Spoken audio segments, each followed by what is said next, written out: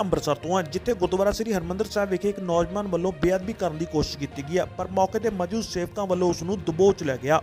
ਤਸਵੀਰਾਂ ਤੁਸੀਂ ਸਾਫ਼ ਦੇਖ ਸਕਦੇ ਹੋ ਕਿ ਇਸ ਤਰ੍ਹਾਂ 25 ਸਾਲਾ ਨੌਜਵਾਨ ਮੱਥਾ ਟੇਕਣ ਸਮੇਂ ਜੰਗਲਾ ਟੱਪ ਕੇ ਪ੍ਰਕਾਸ਼ ਸਥਾਨ ਵਾਲੇ ਖੇਤਰ ਦਾਖਲ ਹੋ ਰਿਹਾ ਹੈ। ਤੇ ਉਸਨੇ ਸ੍ਰੀ ਗੁਰੂ ਗ੍ਰੰਥ ਸਾਹਿਬ ਜੀ ਦੇ ਪਾਵਨ ਸਰੂਪਾਂ ਅੱਗੇ ਪਈ ਸੋਨੇ ਦੀ ਮਿਆਨ ਵਾਲੀ ਸ੍ਰੀ ਸਾਹਿਬ ਚੁੱਕ ਲਈ ਹੈ। ਪਰ ਮੌਕੇ ਤੇ ਮੌਜੂਦ ਸੇਵਾਦਾਰਾਂ ਵੱਲੋਂ ਉਸ ਨੂੰ ਕਾਬੂ ਕਰਕੇ ਬਾਹਰ ਪ੍ਰਕਰਮਾ 'ਚ ਲਿਆਂਦਾ ਗਿਆ। ਤੇ ਗੁੱਸੇ 'ਚ ਆਏ ਸ਼ਰਧਾਲੂਆਂ ਵੱਲੋਂ ਉਸ ਦੀ ਬੁਰੀ ਤਰ੍ਹਾਂ ਕੁੱਟਮਾਰ ਕੀਤੀ, ਜਿਸ ਦੀ ਮੌਕੇ ਤੇ ਹੀ ਮੌਤ ਹੋ ਗਈ ਹੈ। ਬੇਸ਼ੱਕ ਹਾਲੇ ਇਸ ਦੀ ਸ਼ਨਾਖਤ ਨਹੀਂ ਹੋਈ ਹੈ, ਪਰ ਬਹੁਤ ਸਾਰੇ ਸਵਾਲ ਖੜੇ ਹੋ ਗਏ ਨੇ ਕਿ ਆਖਰਕਾਰ ਇਸ ਨੌਜਵਾਨ ਨੇ ਅਜਿਹਾ ਕਿਉਂ ਕੀਤਾ, ਕਿਹਦੇ ਕਹਿਣੇ ਤੇ ਕੀਤਾ? ਬਹੁਤ ਸਾਰੇ ਅਜਿਹੇ ਸਵਾਲ ਨੇ ਜਿਨ੍ਹਾਂ ਦਾ ਹਾਲੇ ਤੱਕ ਜਵਾਬ ਨਹੀਂ ਮਿਲਿਆ।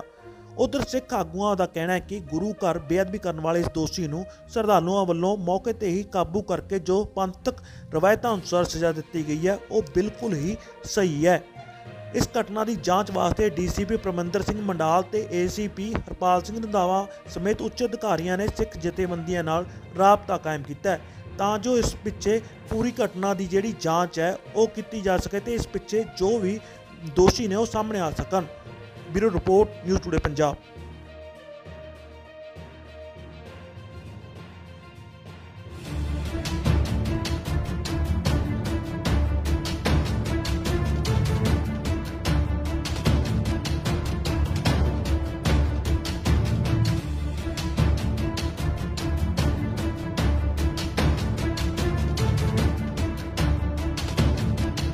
Waheguru ji ਕਾ ਖਾਲਸਾ, ਵਾਹਿਗੁਰੂ ਜੀ ਕੀ ਫਤਿਹ। ਬਲਜਿੰਦਰ ਸਿੰਘ ਮੇਰਾ ਨਾਮ ਆ।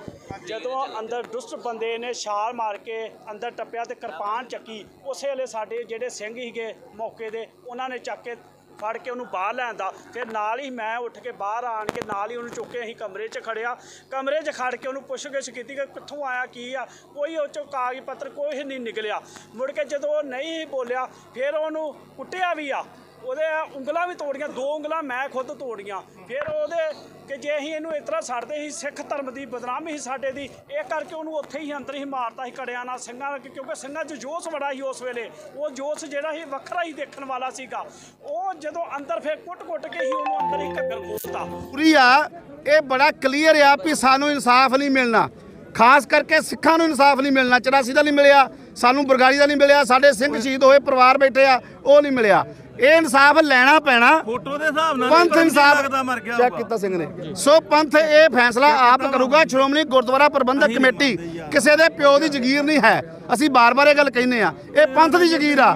ਅੱਜ ਜੇ ਕੁਝ ਲੋਕ ਕੁਰਸੀਆਂ ਤੇ ਬੈਠੇ ਨੇ ਕਾਬਜ ਨੇ ਤੇ ਉਹ ਸੱਤਾ ਦੇ ਵਿੱਚ ਭੁੱਖੇ ਤੇ ਅੰਨੇ ਹੋਏ ਨੇ। ਜੇ ਉਹ ਆਪਣੇ ਪੰਥ ਦੀ ਪ੍ਰਸਤੀ ਨਹੀਂ ਕਰਦੇ ਤੇ ਫਿਰ ਇਹ ਛੱਡ ਕੇ ਘਰਾਂ ਨੂੰ ਚੱਲ ਜਾਣ ਪੰਥ ਸਾਂਭ ਲੂਗਾ। ਤੇ ਜੇ ਅੱਜ ਇਹਨਾਂ ਨੇ ਪੰਥ ਦਾ ਉਹ ਰੁਤਬਾ ਕਾਇਮ ਰੱਖਿਆ ਅਸੀਂ ਧੰਨਵਾਦ ਕਰਦੇ ਆ ਅੰਦਰ ਹੀ ਮਾਰਤਾ ਸੀ ਸਿੰਘਾਂ ਨੇ। ਕਿੱਥੇ ਮਾਰਿਆ ਸੀ?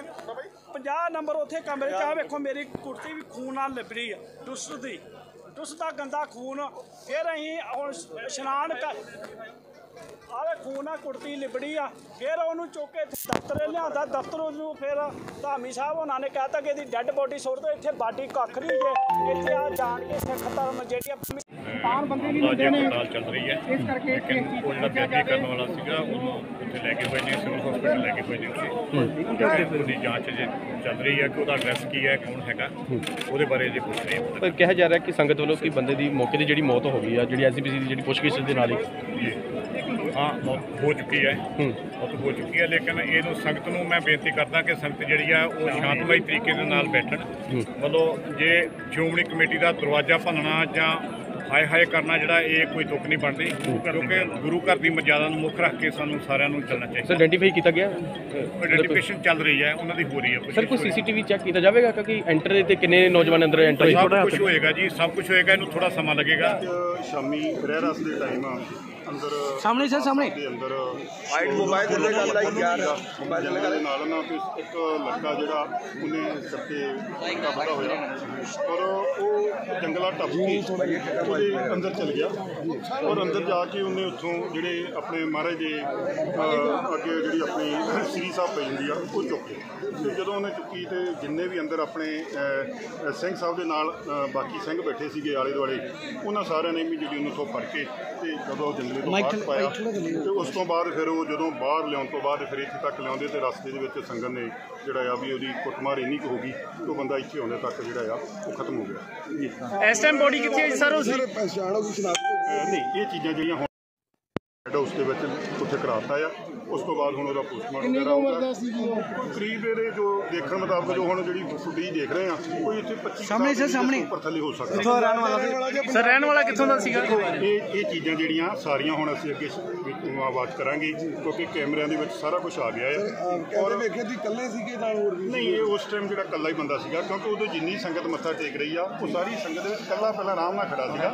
ਜਦੋਂ ਉਹਨੇ ਬਿਲਕੁਲ ਮੱਥਾ ਜਿੱਥੇ ਆਪਾਂ ਨੀਵੇਂ ਹੋ ਕੇ ਉਹ ਟੇਕੀ ਦਾ ਉਦੋਂ ਉਹਨੇ ਉੱਥੇ ਜਿਹੜਾ ਆ ਉਹਨੇ ਉਸ ਜੰਗਲਾ ਜਿਹੜਾ ਟੱਪ ਲਿਆ। ਸਰ ਰਹਿਰਾਸ ਵੇਲੇ ਤਾਂ ਸੰਗਤ ਸਾਰੀ ਬੈਠੀ ਹੁੰਦੀ ਹੈ ਨਹੀਂ ਰਹਿਰਾਸ ਦੇ ਟਾਈਮ ਅੰਦਰ ਲੇਕਿਨ ਜਿਹੜੀ ਸੰਗਤ ਆ ਉਹ ਮੱਥਾ ਥੱਲੇ ਕਰਿਓ ਕਿ ਪਾਠ ਚੱਲ ਰਿਹਾ ਜਦੋਂ ਅਰਦਾਸ ਹੁੰਦੀ ਉਦੋਂ ਸੰਗਤ ਸਾਰੀ ਬੈਠ ਜਾਂਦੀ ਆ। ਇਹ ਜਦੋਂ ਆਪਣੇ ਮਹਾਰਾਜ ਦੀ ਰਹਿਰਾਸ ਚੱਲ ਰਹੀ ਸੀ ਸਾਰੀ ਸੰਗਤ ਮੱਥਾ ਟੇਕ ਰਹੀ ਸੀ।